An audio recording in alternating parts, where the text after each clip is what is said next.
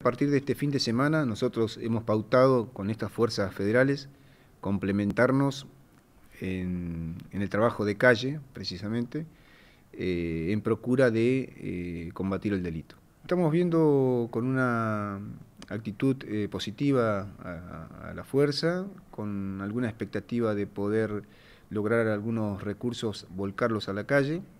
Así que en procura de, combatir el flagelo del delito estamos abocados plenamente.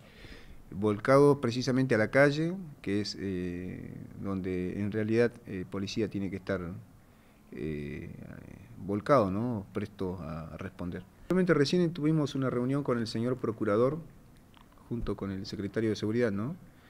y estuvimos hablando precisamente del mapa del delito.